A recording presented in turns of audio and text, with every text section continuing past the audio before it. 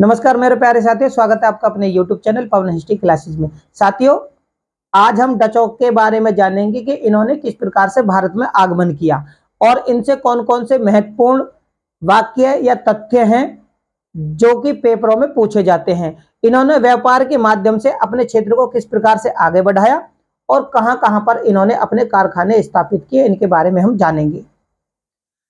तो मेरे प्यारे साथियों चैनल नया है, इसे ज़्यादा से ज़्यादा लाइक शेयर और सब्सक्राइब करें। तो देरी ना करते हुए शुरू करते हैं डचों का आगमन भारत में। तो डच जो थे, लीसा दैन थे, एक लीसा दैन, विद्वान, लेखक। तो लीसा दैन ने भारत के ऊपर एक किताब लिखी थी। तो लीसा दैन की जो पुस्तक थी, उसको पढ़कर डचों का, डचों की जो दिलचस्पी थी ना, वो भारत के प्रति हो गई। उन्होंने उस पुस्तक को पढ़ा, भारत के बारे में जाना तो इनकी क्या है कि दिलचस्पी, यानी कि ये भारत की ओर आकर्षित हो गई। ठीक? तो क्या होता है? ये भारत की तरफ़ किसके कारण बढ़ते हैं? लीसा देन की पुस्तक के कारण। जानते डच थे कौन? डच जो थे, वो नीदरलैंड या हॉलैंड के निवासी थे। लीसा देन की पुस्तक पढ़ी, जिसके कारण ये भारत की तरफ़ आकर्षित हुए, यानी इनकी दिलचस्पी भारत के प्रति जाग गई।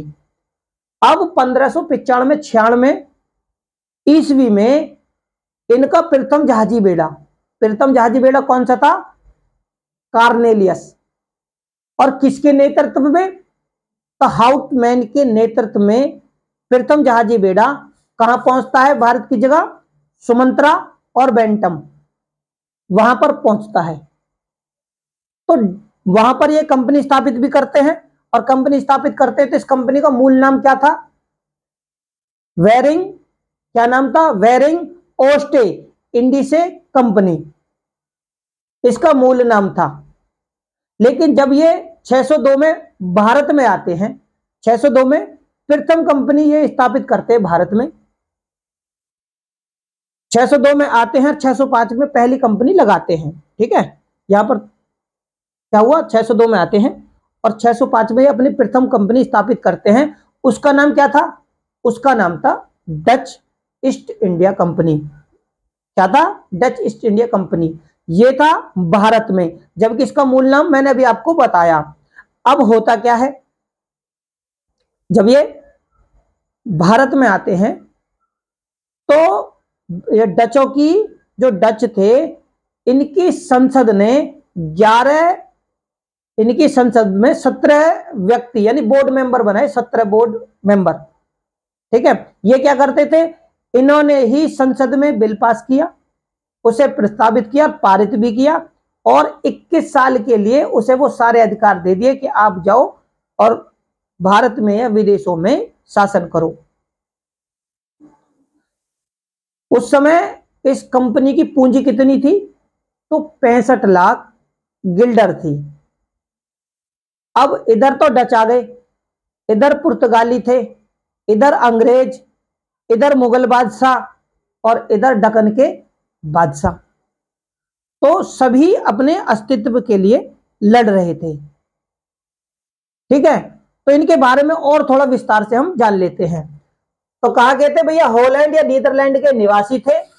टेन की पुस्तक इन्होंने पढ़ी और उस पढ़ने के बाद में इनकी भारत के प्रति दिलचस्पी जागी और ये पंद्रह सौ पिचानवे छियानवे में प्रथम जहाजी बेटा लेकर जिसका नाम था कार्नेलियस, जो कि हाउट मैन के नेतृत्व में सुमंत्रा और बेंटम पहुँचता।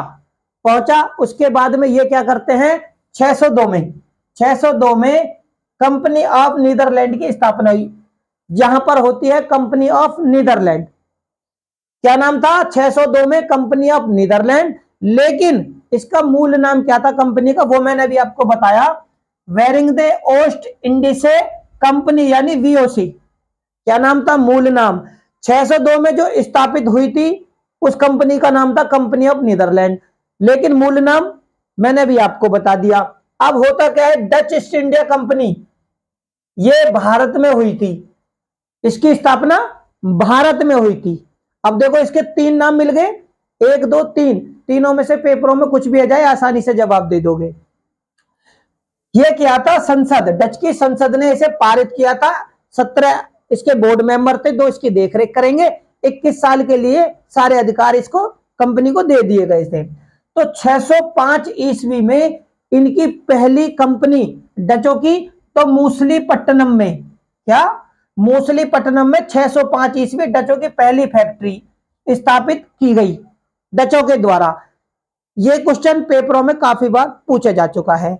इसके बाद इनकी दूसरी कंपनी क्योंकि भाई पहली तो सभी जानते हैं, लेकिन दूसरी के बारे में भी पेपरों में पूछ सकता है। तो दूसरी कंपनी जो थी, इनकी 1610 ईस्वी में पेटपोली क्या? पेटपोली यानी निज़ाम पट्टी, क्या? निज़ाम पट्टी में स्थापित की गई थी। लेकिन शीघ्र ही इनका वहाँ पर पुर्तगालियों से संघर्ष होता है। संघर्ष होने के बाद में ये क्या करते हैं? यहाँ से अपनी कंपनी को उठाते हैं और तेगपट्टनम, यानी देवपट्टनम, क्या नाम आता है? तेगपट्टनम, देवपट्टनम में ये उस कंपनी की स्थापित, यानी स्थापित ना स्थापना कर देते हैं। लेकिन होता क्या है? कुछ समय के बाद में, भैया, अब इनका संघर्ष होता है अंग्रेज़ों से। अब अंग्रेज़ों से इनका संघर्ष होता है तो अंग्रेज़ क्या करते हैं? अधिपत्य के बाद, यहाँ पर कर लेते हैं अंग्रेज़ अधिकार। अब जब अंग्रेज़ यहाँ पर अधिकार कर लेते हैं तो इस कंपनी का जो नाम था, अंग्रेज़ उसे बदल देते हैं। अंग्रेज़ इसका क्या नाम रख लेते हैं? Saint fort David. क्या नाम हो गया इसका? सेंट फोर्ट डेविड नाम अंग्रेज़ों के द्वारा इस जो यहाँ पर इनका दुर्ग था, उसका नाम बदलकर फैक्ट्री का ये रख लेते हैं। 610 ईस्वी में होता क्या है? जो डच थे, वो चंदनगिरी के राजा से एक समझौता करते हैं। क्या करते हैं? चंदनगिरी। राजा कौन था? चंदनगिरी का। उससे समझौता करते हैं और पुलिकट। क्या है? पुलिकट एक जगह है भारत में। ये क्या करते? हैं पुलिकट में एक फैक्ट्री की स्थापना करते हैं। भाई चंदन नगर के राजा से कर लेते हैं समझौता छह सौ, सोलह 600 1610 में ही।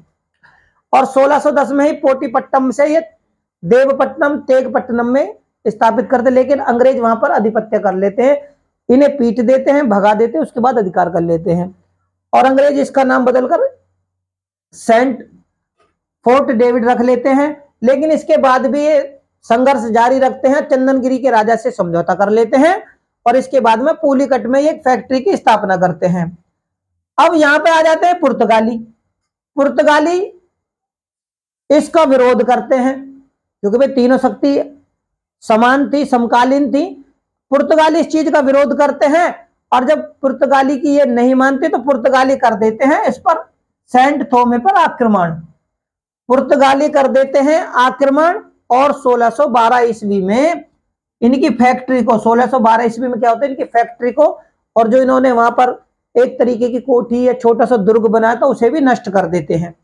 ठीक है भैया, सब चीज़ हो गई नष्ट।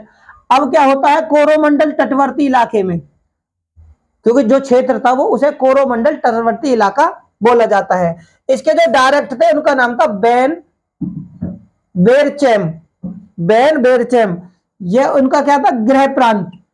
घर की तरह उनका ये प्रांत था। इसी के नाम पर डच जो है, इसका स्थानीय का नाम का क्या नाम रखते हैं? Fort Geldria. इस किले का नाम क्या था? फोर्ट ग्लेडिया नाम देते हैं, कौन देते हैं? डच। कोरोमंडल तट पर। कब देते हैं? जब 1612 में इनकी फैक्ट्री को पुर्तगाली नष्ट कर देते हैं, आक्रमण कर देते हैं। ठीक है भैया? यहाँ पर पुलीकट में क्या करते हैं? डच जो थे सोने के सिक्के भी बन, डालते हैं। यानी अपने सोने के सिक्कों को भी डच यहाँ पर चलाते हैं। जब इस कंपनी की स्थापना हुई थी तो इसकी जो पूंजी थी, वो पैंसठ लाख गिल्डर थी। ठीक है?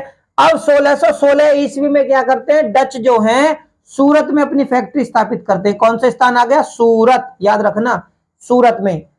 1617 ईस्वी में कहाँ पर करते हैं?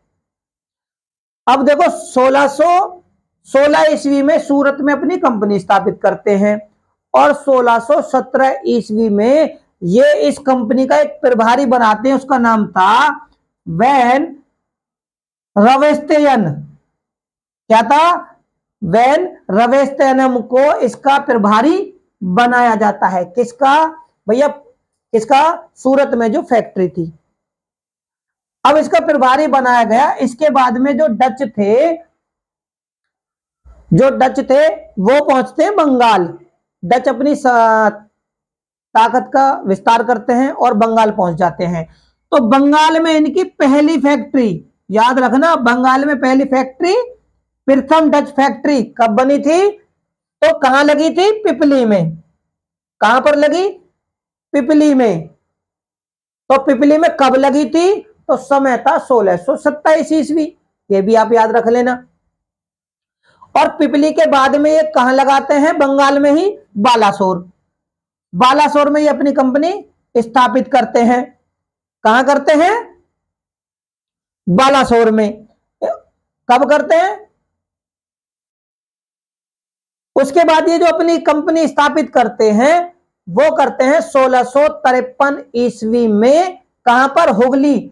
हुगली कहाँ पे है? बंगाल में। तो इसके निकट में क्या था? चिंसूरा चिंसूरा नामक स्थान था।